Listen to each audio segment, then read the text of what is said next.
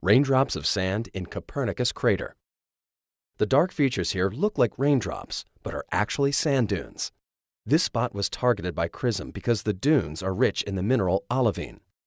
Olivine-rich dunes are very rare on Earth, as olivine rapidly weathers to clays in a wet environment. There is also olivine-rich bedrock in the central peaks of Copernicus crater on the Moon. There are only a handful of historically significant scientists, like Nicholas Copernicus, who have craters named after them on both Mars and the Moon.